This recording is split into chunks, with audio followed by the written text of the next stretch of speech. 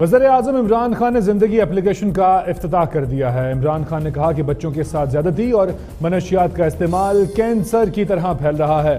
بچوں سے زیادتی، منشیات کی روک تھام شہریوں کی ذمہ داری ہے۔ منشیات کے خلاف ہر سطح پر آگاہی دی جائے گی۔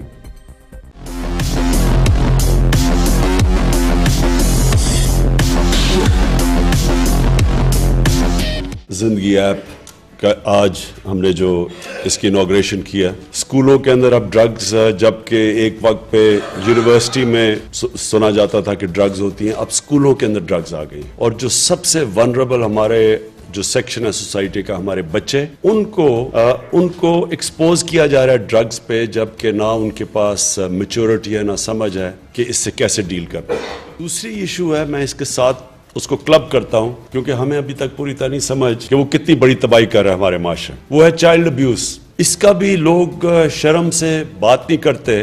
ڈپارٹمنٹ کوئی اے این ایف یا صرف پولیس کو ہم چھوڑ دیں، یہ ہم اپنے ذہنوں سے نکال دیں کہ ہم اس کو شکست دے سکتے ہیں، ان دونوں چیزوں کو۔ اس میں ساری قوم کو شامل ہونا پڑے گا۔